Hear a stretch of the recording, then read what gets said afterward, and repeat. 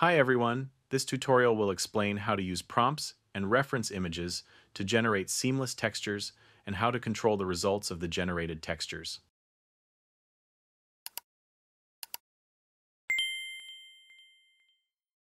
First, let's go over the basic Generate Pattern workflow.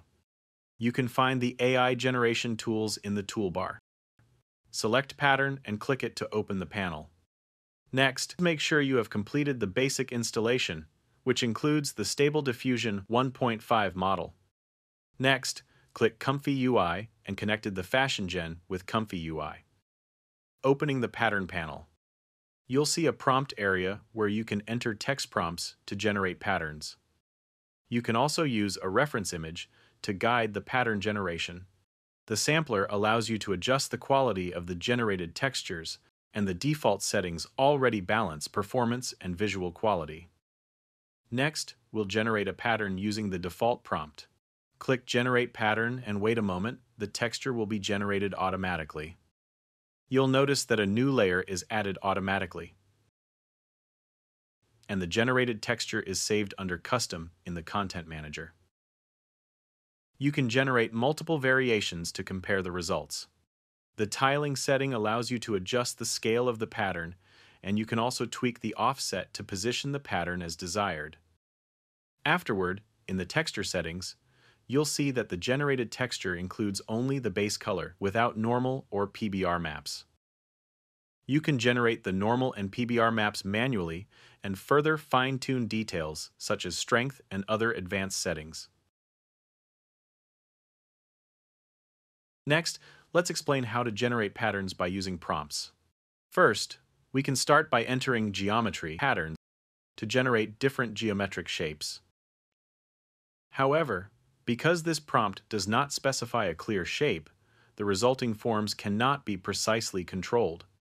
To gain better control, we can use basic shape keywords, such as circle. Once a shape-specific prompt is provided, you'll see that the generated patterns consistently take on a circular form. Similarly, if we enter star-shaped, the generated patterns will all appear as star shapes.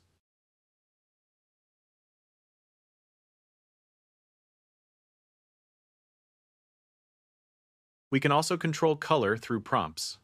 For example, after adding yellow the generated results will become yellow star-shaped patterns.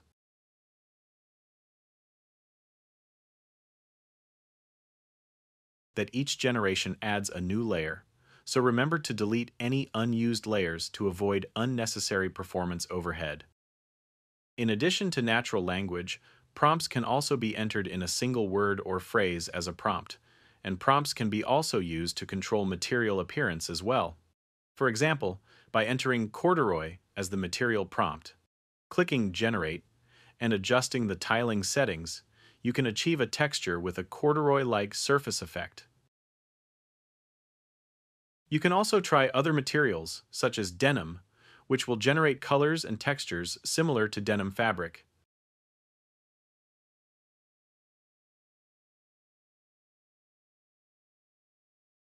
Or enter leather which produces a leather-like material appearance.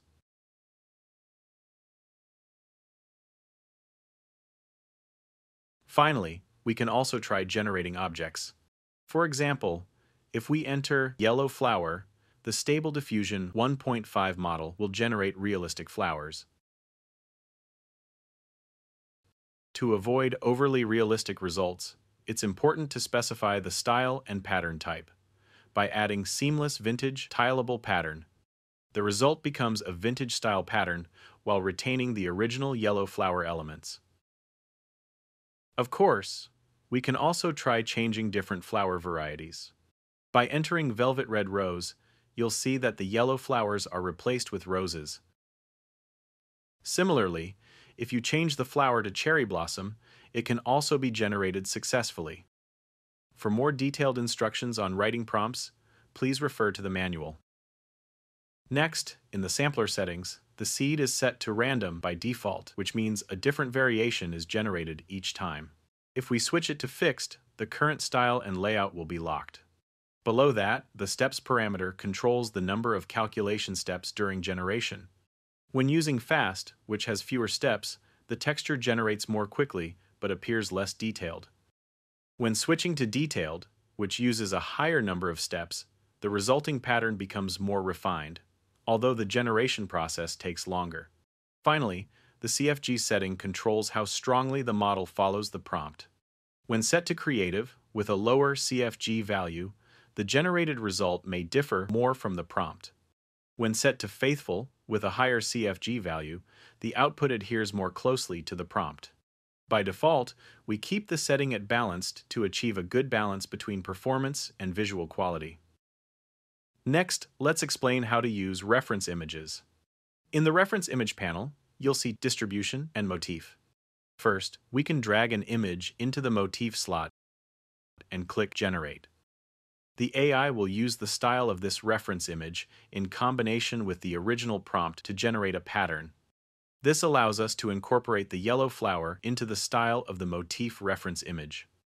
You can also adjust the strength setting.